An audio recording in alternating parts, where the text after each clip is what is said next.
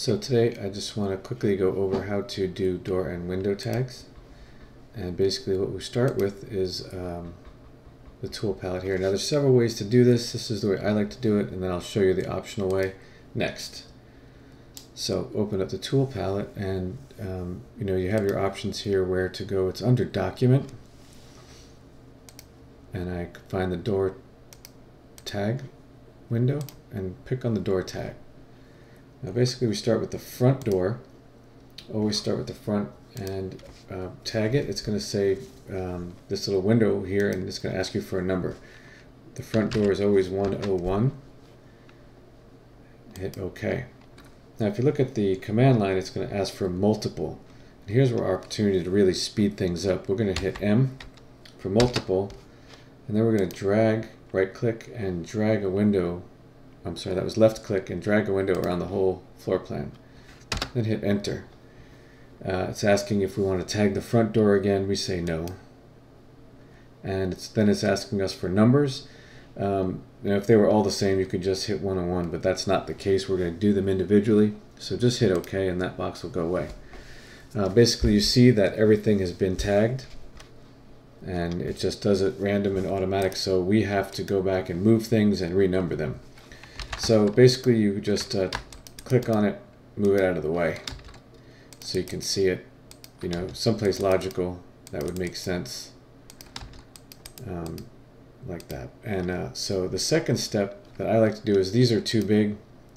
Um, we're going to have to shrink them down a little bit. So basically I would go up to my um, select a layer button and click on it and it isolates it completely. What we'll do then is just grab a giant window around it um, and if you go to your properties, is that coming up on here? No. Go to uh, the properties, select the window, go to your properties box and you'll see the X for the scale dimension. Drop that down to 0.8. That's great. We'll just slide that out of the way so we can get back. So that should have scaled it down. Go back up, turn all the layers back on, the layer manager, and that looks a little bit better, more manageable. So the next step is go back to our uh, tool palette and we'll hit renumber data tool. And here you can see you could select doors or windows. So obviously we're working on doors. We're going to select the front door 101 and that's just easy. Front door 101. Then what I like to do is all the exterior perimeter doors first. So the next door over to the right is 102 and this one hiding back here is 103. Obviously we'll move that one when we get the opportunity in a second. The next door is 104. Okay, again, it's conflicting with the dimensions, but we'll move either one out of the way in a minute. Basically, you get the idea. We'll find the next exterior door, 105.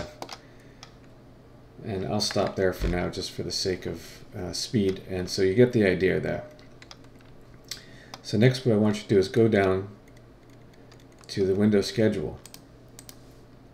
Highlight it and right click. And it'll say selection. And basically we want to add all those doors in. So we'll click add. We'll go back and highlight the floor plan and we did select it all and it's all there. Now some are question marks and we've got to go back and figure out what, what those are, what's wrong with it. Maybe it's just the door style, um, but that's an easy fix. So that should get you started um, doing it that way. let's back up a little bit, undo uh, and start over. So in the second way, I know how to do it. And of course, there's always multiple ways how to do things in AutoCAD. Let's go back to the construction plan. Okay, so if you go up to your top menu, uh, click on and we'll find, uh, where is it? Annotate, I believe. Door, yes, here it goes. Door tags under scheduling. Door tag. Okay, we could select that and just select the top one. It's just first, this is a door tag. Now you can select it.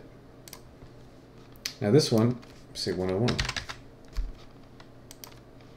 you can go and individually select each one and it gives you the opportunity to renumber them however you'd like. Uh, stick with the numbers, of course. And this is interior, so it'll probably be like a 112 or something. But that's another way to do it. I think my way is a little bit faster. Um, you still have to go back and shrink them um, to the right scale by isolating the layer and changing the scale down to 0.8. So that's the that's the way to do door tags. It's very similar with the window tags. Let's try that quick. Here we go, window tag on the tool palette. And we'll go start with the front window. Select, and that'll just be a one, okay? And now same issue here, we can type in multiple. If you see down on the command line, it gives you the multiple. So we type M, enter, left click and select everything. And one was already tagged, yes, we do not want to tag it again, no.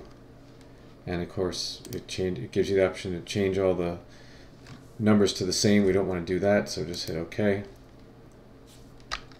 And that's it, they're all tagged now. So same thing again, we can go back and renumber. Um, first, let's change the scale again. You know, uh, isolate the layer. And this one, I believe, should be just changed to a 5. If we bring over the uh, properties box, we could see we tag it and the display it says 5. I'm sorry, it's 6 currently, but let's just change it to 5. All of those to 5, and it shrinks it down into a much better place. So bring up the renumber tool again. And this time we select Windows. And we start with 1. And let's just randomly pick, we could do 1, 2, see how you could just select each one and it changes automatically. So that's the way I do it. Um, I'm sure there might even be a third way, I'm not really sure. I'm going to go back and just delete that for a sec. Let's try, uh, I've never tried this one, annotate the window tag here. One. And yeah, same thing as the door. So you can change, you can number them individually. Whatever's easier for you to do it. Um, you know, just going around and clicking or doing each window tag separately. It's your choice, um, but I think it's faster the other way. Uh, that's it, and thanks.